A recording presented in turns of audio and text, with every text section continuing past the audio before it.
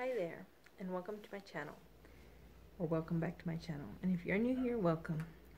My name is Melinda, and I mostly share about motherhood and things like that, homemaking and homeschooling. Today's video might be a little bit different, but it's something that I wanted to share a video about anyway. And so I thought I would share it like this. Let's hope the lighting works out. I'm recording this at night once my little ones are all in bed this time because that's what seems to be working out for this one. So anyway, this time what I want to share about is giving and about that verse, give and it shall be given unto you. In many ways, specifically as it applies to moms, but also to anyone in general. I don't know if I think of this more living in Costa Rica than uh, in the years I lived in Canada, it just didn't get as close to me. I mean, um, we didn't have people stopping by and begging for food sometimes. It's not like something like Costa Rica isn't considered a, a very poor country, but we have people coming by and asking for food or selling some little thing or asking for one thing or other quite a bit. And so it has made me think a bit about that about where it says, Given it shall be given unto you. Uh, the verse that I'm thinking about is Luke 6 38, where it says, Given it shall be given unto you, good measure, pressed down and shaken together and running over, shall men give unto your bosom. For with the same measure that ye meet withal, it shall be measured to you again. Now, there's different versions, so some might make it clear, but God's word makes it very clear that if we give, He will give back to us. When we were newly married, for our wedding gift, someone gave us this book. It's in Spanish, but the English version is, I'll have a link for it in the description. It's called Nevertheless I Live. In Spanish, they named it Crucified with Christ, but it all comes from the same verse. But it has a lot of principles that really helped us think about what we were doing with our time, with our finances, and I think it's a really good book. And so, but in there, one thing it mentioned is that give and it shall be given unto you. And that when we give, we don't lack. And we thought of it and we noticed it in our own home quite a bit. I remember especially noticing it first when our oldest was born. She was our hardest sleeper. I mean, all the other babies, yeah, all babies have gone through a stage of not being able to sleep well, but she was the latest one. We'd often be up till 11 at night with her or something. And my husband and I were used to full nights before that. We always had good long nights. And so I was surprised that it didn't cost us more to recover that sleep. Now I know sometimes there's times, yeah, it does, but I thought of it. We were giving of ourselves to care for our baby and God was giving us the sleep we needed.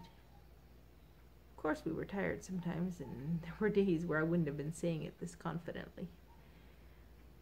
But I feel like we didn't lose out as much as we didn't have to recover all those hours of sleep that we lost with her. And there's been other ways then we started noticing. When we'd help others financially, it's not that money would come to us, but we'd have no extra costs things would come to us. We would be given fruits and vegetables. We'd find an umbrella by the side of the road. We would, it was little things like that. When my husband, and after, yeah, when our oldest was a few months old, uh, he was mowing with a push mower on a hillside, you know, like you shouldn't, but he mowed off his big toe. And he couldn't work for three weeks but we were given so much than we had left to give to others. And it's just interesting to see how God has used that over and over when we give our time to Him. We've noticed when we start lacking time or lacking financially, we look around, we see we haven't been giving, haven't been giving of our time to God or of our finances or whatever it is. And once we start again, we usually have enough. And that has just been some such an interesting principle to see over and over again. As moms, we give of our bodies for pregnancy and for labor and for nursing our babies. And it's amazing what all we do, and we still survive. How much we give, God gives us back what we need. We give of our time. And sure, we feel stressed and pressured sometimes, at least I do, and I think most every mom does. Maybe a few have learned the secret. At times, it shouldn't be like that full time. But it's just such a blessing to see how when we give of ourselves, God gives to us. There's different ways to give. I'm not just talking of financially. We can give of our time, of our strength to others. We can give material goods. That's one thing we often sooner, like food and stuff, do here when someone comes asking because you know one doesn't know what the money will be used for. So if we give them some food, some cookies, something like that.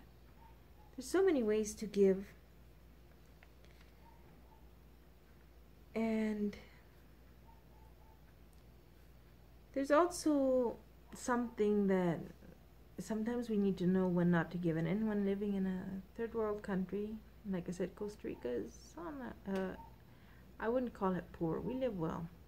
It's a lower level maybe than most of North America, but it, we live well.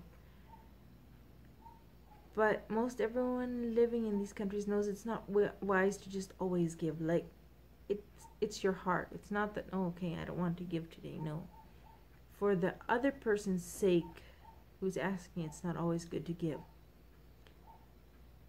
And so that we need to weigh that. We need to ask God for wisdom. God will give you wisdom if you don't know when to give or when not. We've had to, sometimes we had neighbors who kept asking, kept asking until we were about burned out and God gave us wisdom to know how to how to end that, how to balance it. When should we give? When should we not? This book exactly.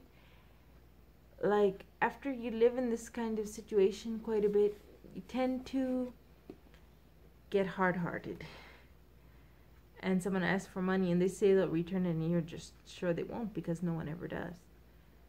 Well, this book says, you know the verse that says, love believeth all things? How does that work? Well, he translated it. He said, love gives the benefit of a doubt. And that's what we can often do here. The first time someone comes or something, we can give them the benefit of a doubt and give freely. And the second time, well, we already know how things go, and we have to decide with God's wisdom when to give and when not to give. If you're a mom, I've sometimes talked about self care being important. We need to pour, we can't pour from an empty cup. We need God to fill us in order to be able to give sometimes. And so there is a balance. How do we know when to and when not? Ask God for wisdom for those times. But just remember when you give with your whole heart, according to his will, he will give you to what you need. I want to end with a verse in First Chronicles 29. First Chronicles 29, 11 to 14 says, Thine, O Lord, is the greatness, and the power, and the glory, and the victory, and the majesty, for all that is in he the heaven and in the earth is thine. Thine is the kingdom, O Lord, and thou art exalted as head above all. And that is true. Everything even that we have is the Lord's. Both riches and honor come from thee, and thou reignest over all. And in thy hand is power and might, and in thine hand it is to make great and to give strength unto all. Everything depends on God. Now, therefore, our God, we thank thee and praise thy glorious name. But who am I, and what is my people, that we should be able to offer so willingly after this sort? For all things come of thee, and of thine own have we given thee. So the things we give, it is from the things that are the Lord's anyway. So we shouldn't worry about it. He has more than enough for us. I want to encourage you, especially as moms, giving a lot of your strength and time and energy to raising your families and feeling weary sometimes.